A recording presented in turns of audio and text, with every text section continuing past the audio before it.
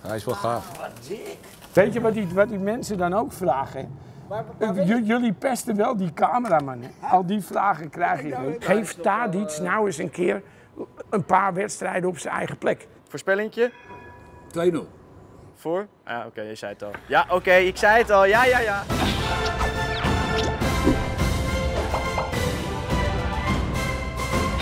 Goedemorgen, mannen. Goedemorgen,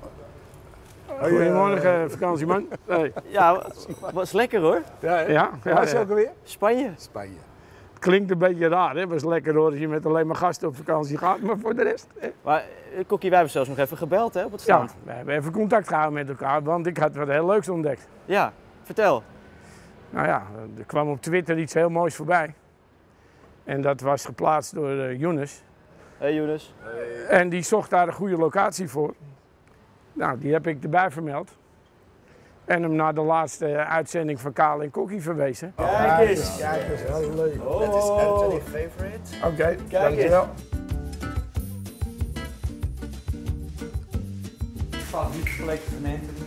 En toen liet Younes de keuze op eh, die locatie vallen. Nou, dat is mooi. Dus ik denk dat we daar nu maar even naartoe moeten wandelen. Dan gaan we tillen hè. Gaat het goed? Gaat het goed? Ja. Vinden de Hey, ho. kijkers, kijkers Hey, leuk, hè? ho. Kaal aan het Die werk. daar polyplip zo. Nou, dat die delegeert, hier ga je Ja, gegarandeerd dat doe je gelul over krijgen. even na delegeren. Oh, hier. Ja, dat gaat goed zo, gaat helemaal goed. Gaat goed hè.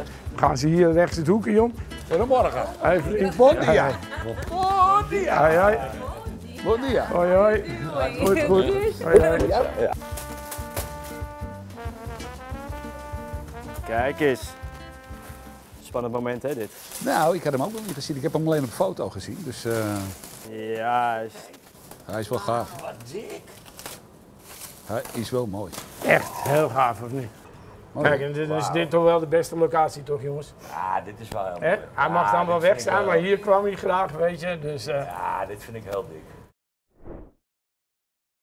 Zo, de Lekker kunst, het kunststukje is over. Mooi hè? hoe vond je het? Ja, mooi hè. Dit was wel mooi toch?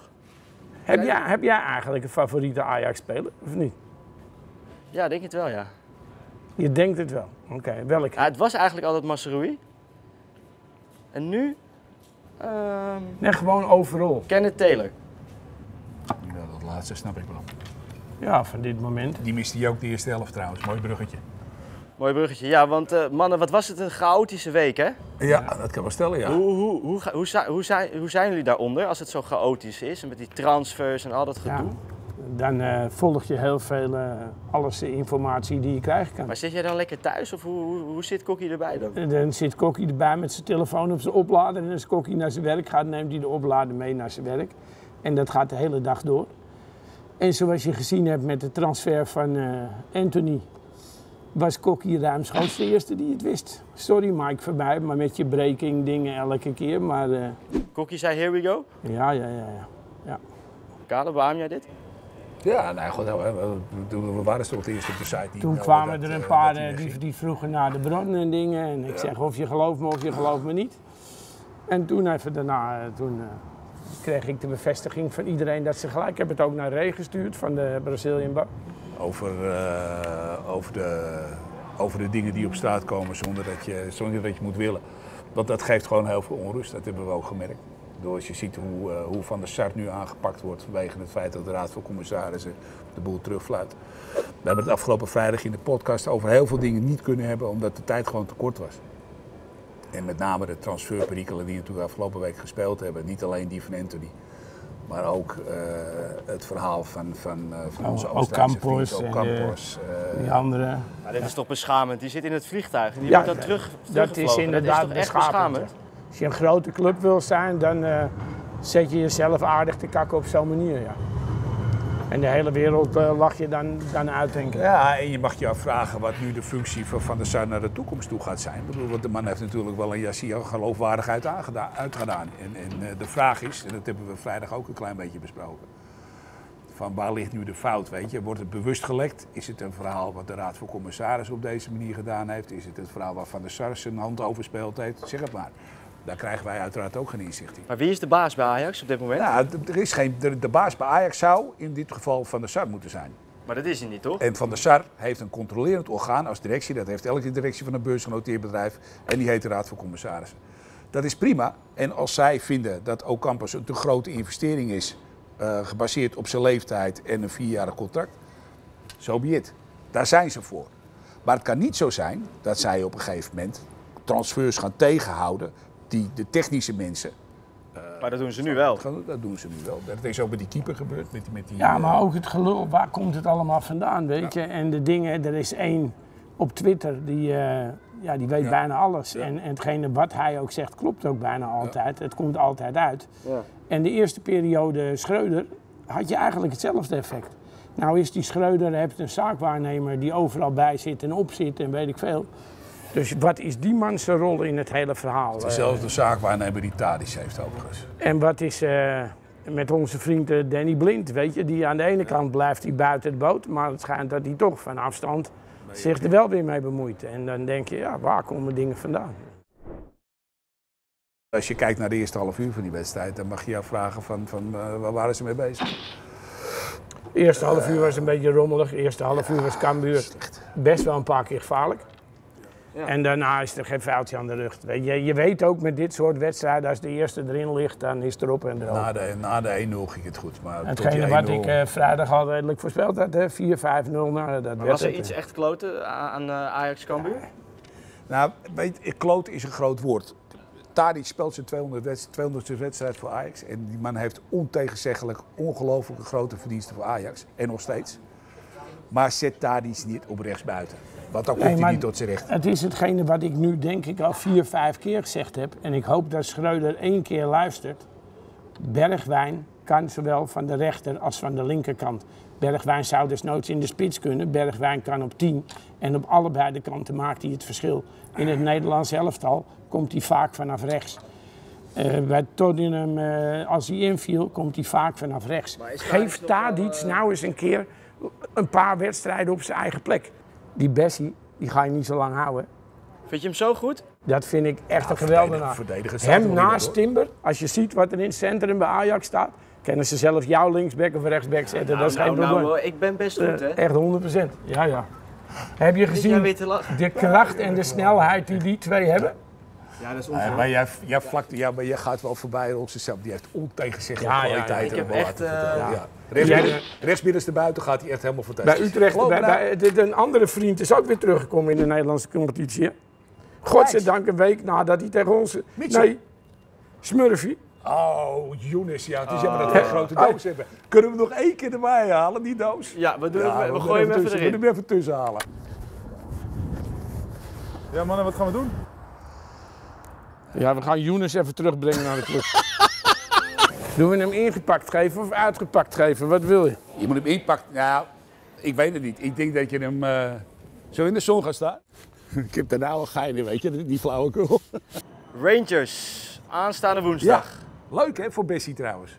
Toch? Hey, maar denk je, Bessie die moeten even met Schreuder even... Weet je wat leuk is? Dat al die Rangers gasten in een Ajax-shirt zitten met Bessie achterop. Want die hebben ze gekocht voordat ze naar Eindhoven gingen. Maar wat voor een wedstrijd wordt dat? Want dat wordt wel lastig, hè? PSV Ik denk is dat een dat- erg goede ploeg, dat Ik weten denk we. dat het een gigantische leuke pot voetbal wordt met twee clubs die allebei vol op de aanval gaan. Voorspellingje 2-0. voor? Ah, oké, je zei het al. Ja, oké, ik zei het al. Ja, ja, ja. Moeten we, jou nog iets, moeten we voor jou nog iets vragen over PSV misschien? Wil Ja. je daar nog over hebben? Nou ja, ik wil wel wat vind je zeggen. schijnbaar erg leuk elke week om er terug te komen. Dus zeg het maar hè. 3-1 Ajax. 3-1 Ajax. Komt nu even de tram langs. Maar Twente was gewoon heel goed, toch? Weet je wat die, wat die mensen dan ook vragen? Jullie pesten wel die cameraman. hè? Al die vragen Ik krijg denk, nou, luister, ik geef hem de vraag toch? Wil je er nog iets over zeggen of niet? Geven hem ve- verleden week geven we hem een week vakantie. Laten hem rustig weggaan. Werken met een professional. Niks aan het handje. Sjaki is weer terug en het gelul begint weer. Hè? Maar we houden van je hoor, Sam. Hey. En over dat eh, trainen gesproken, hè? Over de Trainen. trainen. Kudus, Alvarez, Anthony. Ja. Het lijkt een beetje een soort eh trend te worden van ik wil weg, ik ga niet trainen. Je, dat, nee, maar dat, dat schep je natuurlijk zelf. Op het moment dat jij toestaat dat er één op een gegeven moment zijn kont tegen de krip gooit, dan gaat de volgende dat ook doen. Dus ze denken wat dat dat gaat jullie werken. Ja, nee, dat, dat- kan niet. Het is werkweigering. Klaar. Dat het verhaaltje toch anders is dan dat Schreuder zegt. Bij Schreuder, die En, maakt- en, en Schreuder die maakt daar een mooi van, omdat hij die Alvarez nodig heeft en die dingen. Maar ik zeg je één ding, Anthony heeft geen werkweigering gedaan. Schreuder heeft aan Anthony gevraagd of hij met zijn hoofd bij United was, ja of nee. Een jongen van 19 of 20, hoe oud is die jongen? Die zegt dan ja, ik zit met mijn hoofd daar. Toen heeft Schreuder gezegd, dan laat ik je buiten de selectie, want ik wil mensen die alleen met Ajax bezig zijn. Maar wat vinden jullie daarvan dan van Kudus en Alvarez? Nou, dat vind ik slecht. Maar, moet je hem dan wel, ze beide zaten in de, eentje stond zelfs in de basis. Maar als je dan trainer bent en je hebt een beetje ballen en je gaat tegen Cambuur spelen, zou jij dan Alvarez en Kudus opstellen? Nu beloon je ze toch in wezen? Ik had ze lekker scherp gehouden voor woensdag. Je had die, eh, Ik had ze er lekker buiten je gezet. had die Oostenrijker die, eh, die je binnen gaat, die, eh, die, die heb je op de bank zitten. Die had je keurig, keurig in de basis kunnen zetten. Ja, je had hebt met Taylor in de spelen. basis kunnen En je hebt beginnen. met Taylor in de basis kunnen spelen. Je had met alle kanten Je had had je ze hem gekund. allebei niet nodig gehad. En dan juist maak je dan een statement door te zeggen: jongens, zaterdag heb ik je niet nodig, kan je lekker thuis vanaf het bankje kijken. Hey, we hadden nog een, eh, een oude vriend voor de show gisteren die ons weekend wel erg goed gemaakt heeft. Hè? Jenny, hè? Ja, absoluut. Heb, ik, heb ik genoten van Twente de eerste helft. Om maar even een klein sidestepping te maken. En wat we, ja, die tweede goal die die ramt En die er toch wel heel lekker ook een in. mooi ventje. Ja, gewoon geweldig. aflopen ook als je hem ziet Twee keer een en, kruisbandblessure gehad. eh, ja. Twee keer van heel ver, van heel ver weg En teruggekomen. dan staat er elke keer weer, weet je. Dus even vanuit Kale en Cookie, Cherny bedankt. Ja, Ja. zeker. zeker, zeker, Ja. zeker. Overgespeeld bij Twente, ene Siruki. Speelde een heel goed potje. Zo. Moeten we die halen? Nou, ik, wou net, zeggen, ik had net een, gaf net een schot voor de boeg. Maar ik denk dat die jongen op de plek van Alvarez, dat hij daar toch zo nodig moet gaan voor 50 miljoen.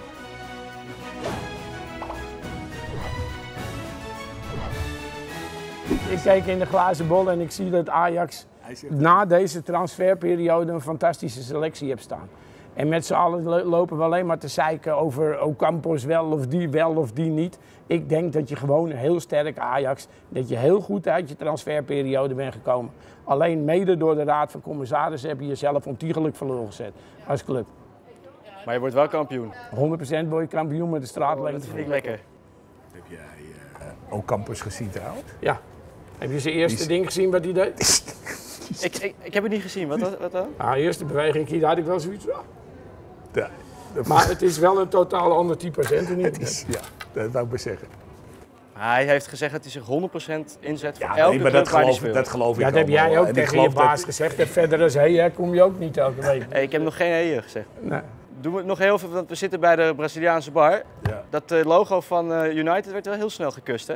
Ja, maar dat doe ik ook. eh kijk, 21, Ja. 21 jaar, 100 miljoen. Hoop eh, klaar. ellende met, eh, met transfers achter de rug. Anthony ging bij Ajax huilend weg. Hè? Bij zijn spelers, bij zijn trainers en zijn dingen. Traantjes in de ogen ging van de toekomst af. Hè? Weet je, en eh, ja. Hetgene wat ik ook over Alvarez al zei, hè? want iedereen heeft overal zijn oordeel over. Ga nou jezelf eens na. Als jij voor hetzelfde werk wat je doet, vier keer zoveel kan krijgen.